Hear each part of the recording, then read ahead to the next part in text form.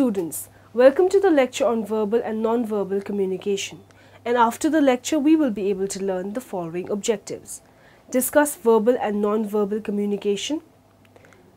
Describe the characteristics of non-verbal and verbal communication. Define relationship of non-verbal message with verbal message. Explain classification of non-verbal communication and verbal communication. Learn about guidelines for improving non-verbal communication.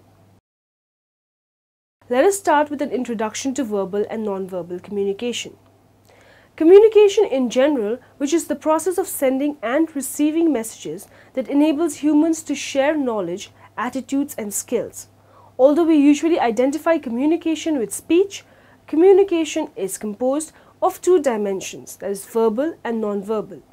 Non-verbal communication has been defined as communication without words. It includes apparent behaviors such as facial expressions, eyes, touching and tones of voice, as well as less obvious messages such as dress, posture and spatial distance between two or more people. Everything communicates, including material objects, physical space and time systems. Although verbal output can be turned off, non-verbal cannot. Even silence speaks. No matter how one can try, one cannot not communicate. Activity or inactivity, words or silence all have messages value. They influence others and in turn cannot respond to these communications and are thus themselves communicating. A person who has eye to see and ears to hear may convince himself that no mortal can keep a secret.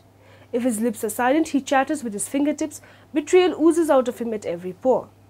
Commonly nonverbal communication is learned shortly after birth and practiced and refined throughout a person's lifetime. Children first learn nonverbal expressions by watching and imitating much as they learn verbal skills. Young children know far more than they can verbalize and are generally more adept at reading nonverbal cues than adults are because of their limited verbal skills and their recent reliance on the nonverbal to communicate. As children develop verbal skills, nonverbal channels of communication do not cease to exist although become entwined in the total communication process. Humans use nonverbal communication because words have limitations. There are numerous areas where nonverbal communication is more effective than verbal when explained the shape, directions, personalities are expressed nonverbally. Nonverbal signals are powerful. Nonverbal cues primarily express inner feelings. Verbal messages deal basically with outside world. Nonverbal messages are likely to be more genuine because nonverbal behaviors cannot be controlled as easily as spoken words. Nonverbal signals can express feelings inappropriate to state. Social etiquette limits what can be said, but nonverbal cues can communicate thoughts. A separate communication channel is necessary to help send complex messages. A speaker can add enormously to the complexity of the verbal message through simple non-verbal signals. Researchers in communication suggest that many more feelings and intentions are sent and received non-verbally than verbally. Mehrabian and Wiener following suggested that only 7% of messages sent through words with remaining 93 sent nonverbal expressions. Depending on author, verbal part goes up to 35%.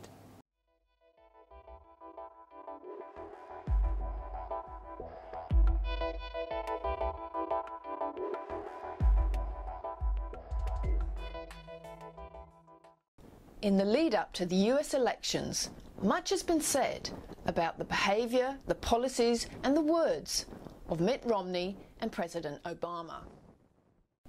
However, as non-verbal communication is responsible for between 55 to 90% of the messages we send and receive to others, both consciously and unconsciously, it's worth observing the body language of these two candidates to see exactly what they're really feeling and thinking. Much like in the animal kingdom, these two move forward with a purposeful stride and an upright posture. And when it comes to the greeting, the power games are on. Romney stands rooted to the spot with a dominant handshake coming over the top. However, President Obama counterbalances that by stepping forward into his space and patting him on the arm, equalising their power game.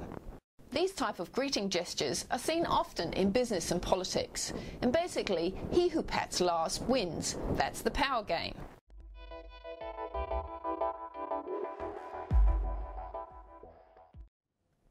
Hand gestures reflect whether someone's being open and honest, or they're hiding something, or whether they want to dominate a situation or feel quite passive about it, or even angry. Both men use open palm up gestures when they want to engage with their audience. And they also both use dominant hand gestures with palm face down when they really want to take charge and get their point across in a clear way.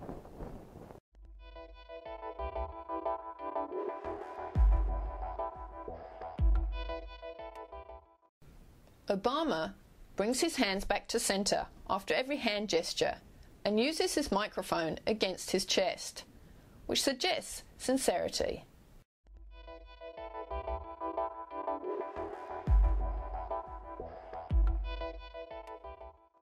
At times, both have used finger pointing, which is a very negative gesture of taking control and often of blame.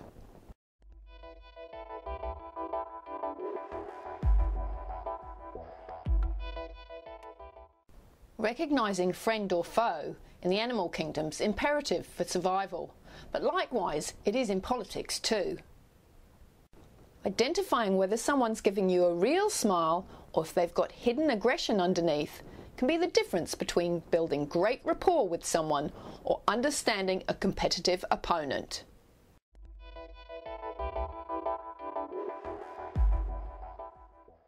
Both lip corners raise when it's a genuine smile and wrinkles appear around the eyes as the eyes contract. Unlike where there may be hidden aggression or controlled anger, where there may be baring of teeth or micro expressions of lowering of eyebrows, tightening of the mouth, or even curling of the lip or lip pressing. These are something to watch out for.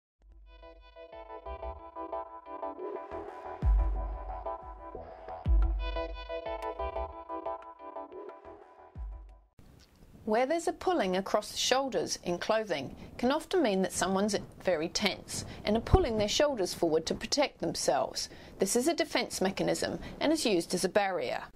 Hand clasping, alongside fiddling with objects such as a pen, can suggest a high level of anxiety also.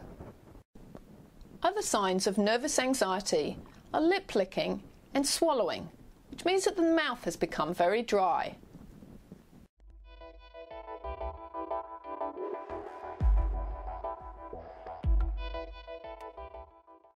Noticing how people relate to the people closest to them and the proximity and space between them can tell you an awful lot about how able someone is to relate to people. The distance between people can relate to something going on in their relationship, or it can relate to how somebody actually relates to everybody. Communication, after all, is an art form and it's something that we all need to learn. It's not always naturally gifted to us. Being able to recognise these body language signals and gestures enables you to tell whether somebody's feeling confident or whether they're feeling nervous or anxious or maybe even being deceptive. So it's very, very useful in politics but also in business.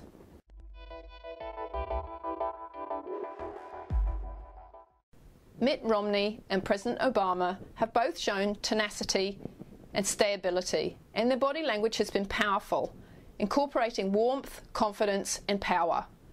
And there's only a small gap between them as to who really is ahead in the body language stakes. Let us first talk about verbal communication.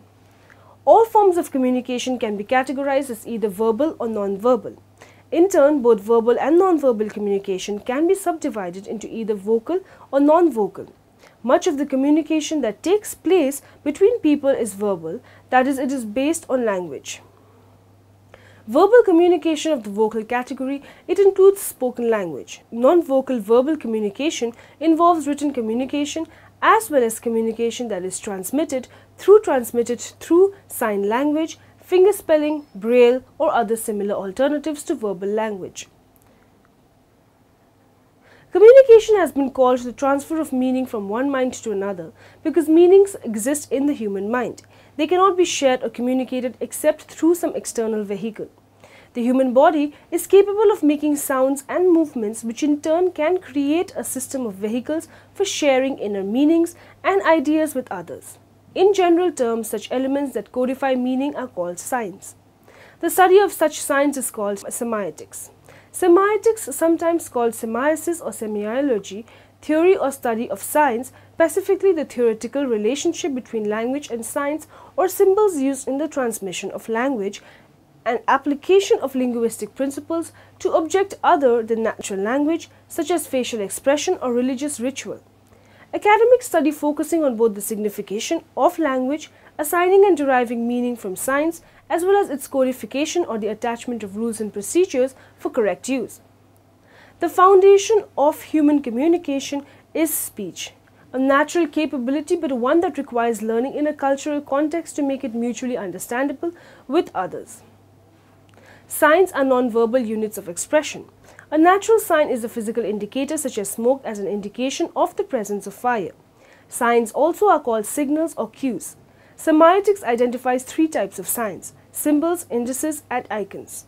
A symbol stands in place of an object. It may be a physical object such as a flag standing for patriotism and national pride, a cross with strong religious meaning for Christians, even the Nike swoosh or the McDonald's arches, or it may be a word or a phrase such as the Allahu Akbar printed in Arabic on flags or headbands.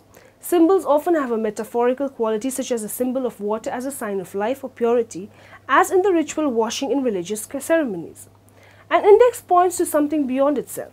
It is an indicator such as words like big and arrows. An index also is sometimes called a natural sign because the relationship between the word and what it signifies is natural, such as smoke being an indexical sign of fire. An icon is a representation of an object that produces a mental image of the object represented. Non-verbal communication. While verbal communication is much studied and is the focus of much applied attention in areas ranging from journalism to governance to entertainment, the fact is that human beings communicate more through non-verbal means. Some estimates are that so-called body language accounts for 65, 70, even 90% of human communication. Using the 70% figure for body language, the voice accounts for another 20% or so and specific words only about 10%. Nonverbal communication is hugely important in human interaction. Nonverbal communication also is bound to culture. In particular, there are differences among cultures and nationalities about the relative value of speech versus silence, the relative value of talk versus action, the social role of small talk or gossip, and the role of animation, rhyme, and exaggeration in speech. Because of these differences, the study of verbal and nonverbal communication always must be done within a social or cultural context. As noted, nonverbal communication may be vocal, focusing on vocal characteristics such as pitch, rate, and so on, or non-vocal, focusing on body language, environment, attire, and the like. Some linguists identify an aspect of nonverbal communication called paralanguage. This refers to a range of non-linguistic elements of speech such as facial expressions, gestures, the use of time and space and so on. However, most linguists adhere to stricter categorization. Commonly, the study of nonverbal communication is divided into several specific categories. Kinesics, simplistically called body language, deals with physical movements sometimes called affective displays. This study applies traditional linguistic principles to the body as a whole or to specific parts, particularly the face, hands and arms. It also deals with posture in standing and sitting, as well as with eye and facial expressions, such as the arching of eyebrows or the rolling of the eyes. Kinesics varies culturally. Kinesics generally refers not to sign language, relies on gestures and expressions in a grammatical context as an alternative to spoken language, but it is associated with the use of emblems, and physical gestures that support or reinforce what is said verbally. Oculesics is closely related to kinesics. Oculesics deals with eye behavior as an element of communication. Some aspects of oculesics deal with a static or a fixed gaze versus dynamic eye movement. This so-called eye contact is the subject of much interpretation by the observer, making it difficult to predict its exact communication impact. The uses of nonverbal communication. Nonverbal communication provides individuals and groups with many options for representing their messages. Here are some of the uses of nonverbal communication. To create impressions beyond the verbal element of communication, kinesics, chronemics, vocalics, environment. To repeat and reinforce what is said verbally, oculesics, kinesics.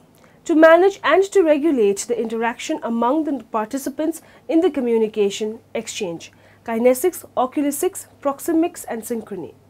To express emotion beyond the verbal elements, kinesics, oculesics, haptics, vocalics and proxemics. To convey relational messages of affection, power, dominance, respect and so on, proxemics, oculesics, haptics. To promote honest communication by detecting deception or conveying suspicion, kinesics, oculics, oculesics, vocalics. To provide group or social leadership by sending messages of power and persuasion, kinesics, vocalics and chromesics. Not all communication is done with words. Dogs wag their tail to show when they're happy. Cats put back their ears when they're not. People look at you to show they are listening and smile when they like you. You can tell if someone is shy, excited, or blue long before you talk to them. Why do you wave to people you know? What does putting up your hand mean in class? We use nonverbal communication every day in every conversation. We even use it when we are on the phone. Many children with special needs have trouble making eye contact, so they miss a lot of the nonverbal cues. It's like flight deck personnel on an aircraft carrier. Without words, they direct jets worth millions of dollars just with the movement and position of their arms. Let's now discuss the characteristics of nonverbal and verbal communication. People who have the ability to communicate verbally and non-verbally have the best chance at obtaining successful relationships in their personal and their professional lives. Non-verbal communication. Body language helps to communicate verbal message as well as connect and build stronger relationships with those around itself. While non-verbal communication can enhance relationships, it can also distance and cause unnecessary confusion if what we say does not match up to body language. There are four types of non-verbal communication. A sight to see. Through facial expressions, people can convey emotions to others without saying a word. Emotions such as happiness, sadness, disgust, fear, anger and surprise are universal facial expressions with the same meaning across all cultures. Maintaining the appropriate eye contact goes hand in hand with facial expressions as it communicates whether one or both parties are interested in the conversation as well as a means to keep the conversation going. For example, a person who continually breaks eye contact during a conversation to glance at the clock or the door may be sending this message that he wants to exit the conversation. Stay in tune. Intonation refers to the, the way a person's voice rises and falls while speaking. It is used to put emphasis on a particular word or detail as we are speaking or to express a question or excitement according to the International Association of Conference Interpreters. Speaking through gestures. A form of nonverbal communication that may alter other people's perceptions when conversing is bodily movement, posture and subtle movements. Easy does it personal space is a large part of nonverbal communication and can be used to express intimacy, dominance or aggression. Moving on to the next topic, let us discuss the relationship of non-verbal message with verbal message. We have all heard the statistics several times before that body language accounts for more than 50% of communication. It is fair to say that both verbal and non-verbal communication impact on the success of relationships. For a start, if we want to communicate sincerely, then verbal and non-verbal communications have to be congruent with one another. In other words, we cannot growl, I love you, while standing arms crossed and eyes rolling. Inversely, we cannot stand with arms open as if inviting a hug as the words, I am finding you insufferable lately, leaves your lips. Well, you can do all of the above if you are merely indulging in a spot of humorous sarcasm, but you have, if you are not saying or doing any of the jest, then the mixed message will leave the recipient feeling unsure of where both stand. Spencer Kelly measured peaks and valleys in the brain waves of participants to understand whether body language that is inconsistent with the accompanying verbal communication is picked up by the brain. To test the way the brain processes verbal and non-verbal communication, brain waves were monitored with the use of an electroencephalograph. Kelly found that if a participant had to process a sentence with an inappropriate word such as he spread his toast with socks, the brain waves would create a valley, a downward dip on the graph as a result. The dip was classified as 400 in measurement. The researcher found that if a speaker's gestures and verbal communication were incongruent, inconsistent with one another, then the same size value of N400 was produced by the brainwaves. Let's now discuss the classification of nonverbal communication and verbal communication. Nonverbal communication is a process of communication that occurs without words. Communication which occurs through body movements, space, time, voice patterns, color layout and design of human surroundings. Kinesics proxemics, time language, paralanguage, physical context. Kinesics is the study of body physical movements. It is the way body communicates without words and it is occupying a major aspect of nonverbal communication. Process. When we communicate thought process and attitude is transmitted in the form of body movements by which inner state of mind is reflected in movements. Thus we can realize these expressions by face and eyes, gestures, posture and physical appearance. Facial expression is the first way to communicate, particularly eyes and eye movement. We can express happiness, surprise, fear, anger and sadness, everything through the eyes. The gesture is body parts, especially arms, legs, hands and head convey meaning. All these movements are made rationally along with speaking and not made with any intention. Body shape is related to biological factor and it is natural but posture is how we stretch body in different styles. Body shapes are classified into three ways and are ectomorph which is thin, youthful and tall, then the mesomorph in muscular fit body and finally endomorph which is fat, round and soft.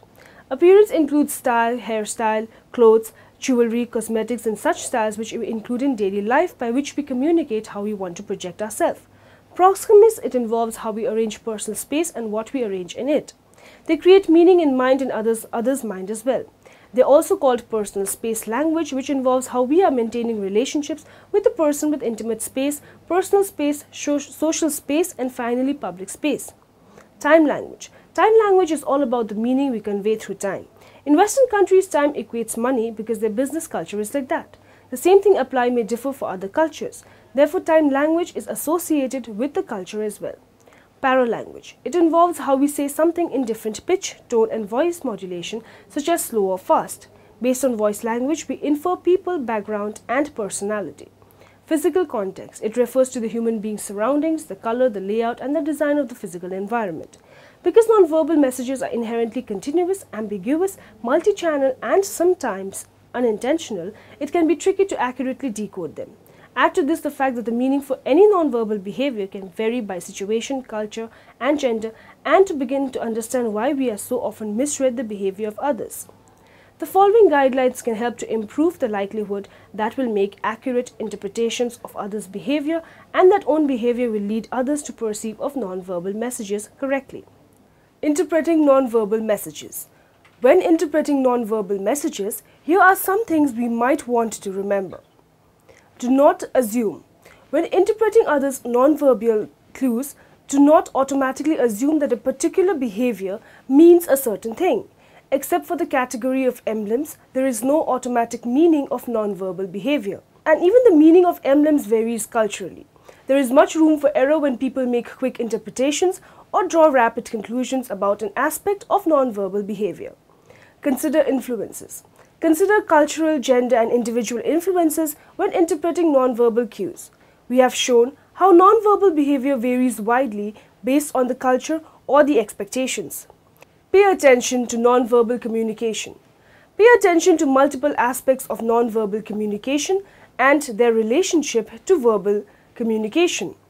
We should not take nonverbal cues out of context. In any one interaction, we are likely to get simultaneous messages from a person's eyes, face, gestures, posture, voice and use of space and touch. Use perception checking. The skill of perception checking. Let us see if interpretations of another person's message is accurate or not. By describing the non-verbal behavior, have noticed and tentatively sharing interpretation of it, we can get confirmation or correction of us interpretation. It may be helpful to use perception checking when faced with gender or cultural variations in nonverbal behavior. Now, in the end, let us summarize what we have learned in this lecture. Nonverbal communication has been defined as communication without words. It includes apparent behaviors such as the facial expressions, eyes, touching and tones of voice, as well as less obvious messages such as dress, posture and spatial distance between two or more people.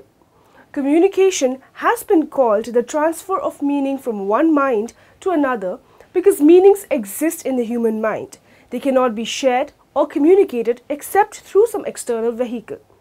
A natural sign is a physical indicator, such as smoke as an indication of the presence of fire. Signs also are called signals or cues. Maintaining appropriate eye contact goes hand in hand with facial expressions, as it communicates whether one or both parties are interested in the conversation as well as a means to keep the conversation going. Kinesics is the study of body physical movements. It is the way our body communicates without words and it is occupying a major aspect of non-verbal communication process.